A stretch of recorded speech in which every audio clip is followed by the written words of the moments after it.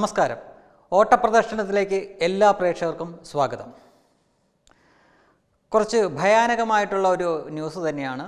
അതായത് വേലി തന്നെ വിളവ് തിന്നാൽ എങ്ങനെയിരിക്കും? എന്ന് പറഞ്ഞ പോലെ കൊല്ലത്തുള്ള ഒരു ഇന്റലിജൻസ് ഉയർന്ന ഉദ്യോഗസ്ഥൻ പോലീസിലെ ഇന്റലിജൻസ് വിഭാഗത്തിലെ ഒരു ഉയർന്ന ഉദ്യോഗസ്ഥനെ തീവ്രവാദ സംഘടനകളുമായിട്ടും അല്ലെങ്കിൽ തീവ്രവാദ സംഘടനകളുടെ നേതാക്കളുമായിട്ടൊക്കെ ബന്ധമുണ്ട് എന്ന് കണ്ടെത്തിയതിനെ തുടർന്ന് അദ്ദേഹത്തെ കോട്ടയത്തേക്ക് സ്ഥലം മാറ്റിയിരിക്കുകയാണ്. ഇതൊരു പണിഷ്മെന്റ് ആണോ എന്ന് ചോദിച്ചാൽ അതിനുള്ള ഉത്തരം തരേണ്ടത് സർക്കാർ വൃത്തങ്ങൾ തന്നെയാണ്. ഇങ്ങനെയാണോ ഒരു തീവ്രവാദ ബന്ധമുള്ള ഒരാളെ പിടിച്ചു കഴിയുമ്പോൾ ഒരു സ്ഥലത്തു നിന്ന് മറ്റൊരു സ്ഥലത്തേക്ക് ട്രാൻസ്ഫർ ചെയ്യുന്നതാണോ അതിനുള്ള ശിക്ഷ എന്ന് അറിഞ്ഞാൽ കൊള്ളാം. എന്തായാലും ചെറിയ കുറ്റകൃത്യമൊന്നുമല്ല. ഈ വ്യക്തി കുറേ നാളുകളായിട്ട് കേന്ദ്ര ഇന്റലിജൻസിന്റെ ആ ഒരു നിരീക്ഷണത്തിലായിരുന്നുവെന്നും ഇപ്പോൾ തെളിവുകളോടുകൂടി അദ്ദേഹം പിടിക്കപ്പെട്ടു എന്നൊക്കെയാണ് പുറത്തു വരുന്ന റിപ്പോർട്ടുകൾ. ഈ വ്യക്തി ഇരുന്ന തസ്തിക എന്നത് കേരളത്തിലെ പോലീസിന്റെ ഇന്റലിജൻസ് വകുപ്പിൽ ഒരു ഉയർന്ന സ്ഥാനത്താണ് എന്നതാണ് ഈ സംഗതിയുടെ ഏറ്റവും ഗൗരവതരമായിട്ടുള്ള കാര്യം. അപ്പോൾ നമ്മുടെ സംസ്ഥാനത്ത് നടക്കുന്ന ചില കാര്യങ്ങൾ ഇങ്ങനെ കാര്യങ്ങളുടെ പോക്ക് ഇങ്ങനെയാണ്. ഇതിനാണ് പണ്ടുള്ളവർ പറയുന്നത് വേലി തന്നെ വിളവ് തിന്നുക എന്നത്. എന്തായാലും ചില മുഖ്യധാരാ പത്രങ്ങളൊക്കെ ഇത് വാർത്തയായിട്ട് കൊടുത്തിട്ടുണ്ട്. സാധാരണ ഇത്തരം വാർത്തകളൊക്കെ നമ്മുടെ ഇവിടെ അങ്ങ് മുക്കുകയാണ് പതിവ്. എന്തായാലും ഇപ്പോൾ ഈ വാർത്ത ചില മുൻനിര പത്രങ്ങൾ തന്നെ കൊടുത്തിട്ടുണ്ട്. പക്ഷേ കൊല്ലത്ത് നിന്ന് ആളെ കോട്ടയത്തോട്ട് സ്ഥലം മാറ്റിയിരിക്കുകയാണ്. അപ്പോൾ ഇതാണോ ഇത്തരം ഒരു കൃത്യത്തിൽ ഉൾപ്പെടുന്ന ഒരാളെ പിടിക്കപ്പെട്ടു കഴിഞ്ഞാൽ നമ്മുടെ സർക്കാർ സംവിധാനങ്ങൾ നൽകുന്ന ശിക്ഷ എന്നത് മാത്രമാണ് സാമാന്യ ജനങ്ങളുടെ ഒരു സംശയം. മറ്റൊരു വിഷയത്തെപ്പറ്റി പറയുകയാണെങ്കിൽ നേരോടെ നിർഭയം നിരന്തരം എന്നൊക്കെ പറയുന്ന എന്നാൽ സത്യവിരുദ്ധമായിട്ടുള്ള വാർത്തകൾ നിരവധി തവണ പടച്ചു വിട്ടിട്ടുള്ള ഇന്ത്യയുടെ തല തന്നെ വെട്ടിമാറ്റിയ ഭൂപടം സംപ്രേഷണം ചെയ്തിട്ടുള്ള മലയാളത്തിലൊരു മുഖ്യധാര മാധ്യമം ഉണ്ടായിരുന്നു ഒന്നാം നമ്പർ എന്നൊക്കെ പറയുന്നൊരു മാധ്യമം ഉണ്ടായിരുന്നു കുറേ നാളുമായിട്ട് കേരളത്തിലെ ബി ജെ പി ഘടകവുമായിട്ട് ഇവർ ഒരു ഒരസലിലാണ് ഒരു വാർത്താ വിവരം അറിയാൻ വേണ്ടി ഇവരുടെ ചാനലിലോട്ട് വിളിച്ചപ്പോൾ അവിടുത്തെ ഒരു അവരുടെ ഒരു സ്റ്റാഫ് അല്ലെ ഒരു റിപ്പോർട്ടർ വളരെ മോശമായ ഒരു രീതിയിലാണ് അന്ന് പ്രതികരിക്കുകയുണ്ടായി. സംഖ്യകൾ ചത്താൽ ഞങ്ങൾക്ക് എന്താ ഞങ്ങൾ ആ വാർത്തയൊന്നും കൊടുക്കൂല. ബംഗാളിലെ വാർത്തയായിരുന്നു. അതിനുശേഷം കേരളത്തിൽ നിന്നുള്ള കേന്ദ്ര സഹമന്ത്രിയുണ്ട് വി മുരളീധരൻ മുരളീധരൻ. അദ്ദേഹത്തിന്റെ ഒരു വാർത്താ സമ്മേളനത്തിന് അദ്ദേഹം ഈ ഏഷ്യാനെറ്റുകാരെ വിളിക്കുകയുണ്ടായില്ല. അപ്പോൾ ബാക്കിയുള്ള പത്രക്കാർ ചോദിച്ചപ്പോൾ അവരെ ഞങ്ങൾ ബഹിഷ്കരിക്കുകയാണെന്ന് അദ്ദേഹം പറഞ്ഞിരുന്നു. അപ്പോൾ പത്രക്കാർ ചോദിച്ചു താങ്കളൊരു കേന്ദ്രമന്ത്രിയല്ലേ?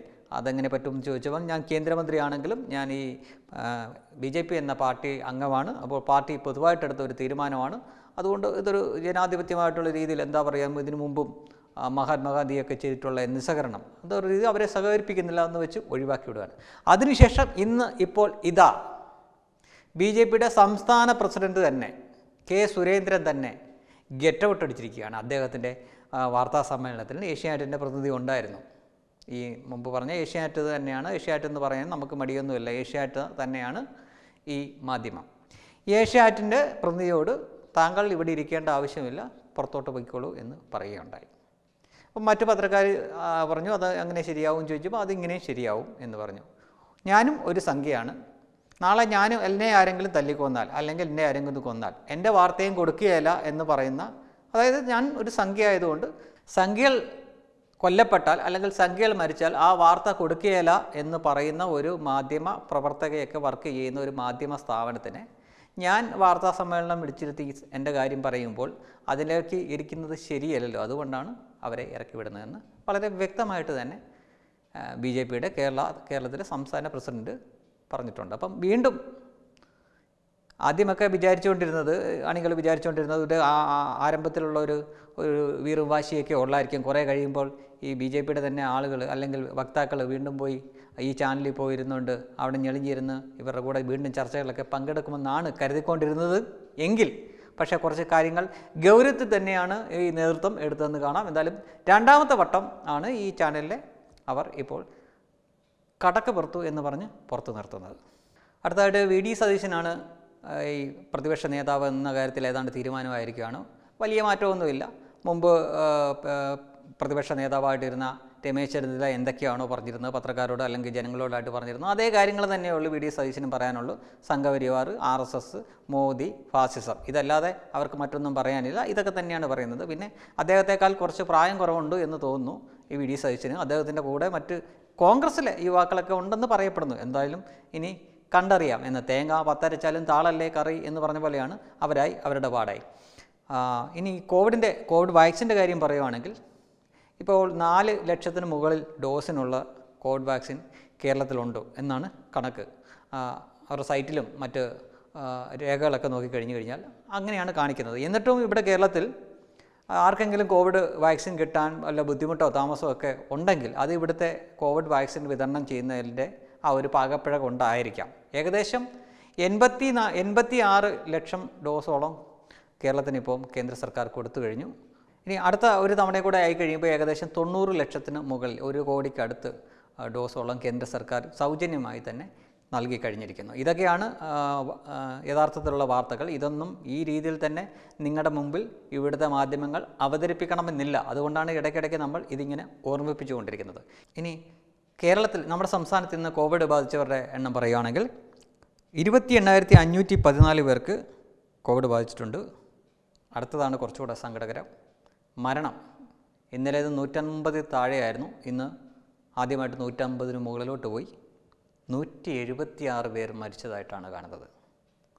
ഓരോ ദിവസവും ഈ മരണനിരക്ക് അങ്ങ് കുതിച്ചുകൊണ്ടിരിക്കുക. ഇപ്പം തന്നെ മൊത്തത്തിൽ ആറായിരം പേര് വന്നു. നമ്മുടെ ഈ കൊച്ചു സംസ്ഥാനത്ത് തന്നെ ആറായിരത്തിനടുത്ത് അതോ ആറായിരം കഴിഞ്ഞു എന്ന് തോന്നുന്നു.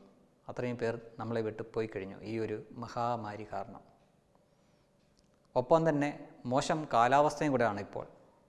നമ്മൾ കൂടുതൽ കൂടുതൽ ശ്രദ്ധിക്കേണ്ടിയിരിക്കുന്നു തീർച്ചയായിട്ടും.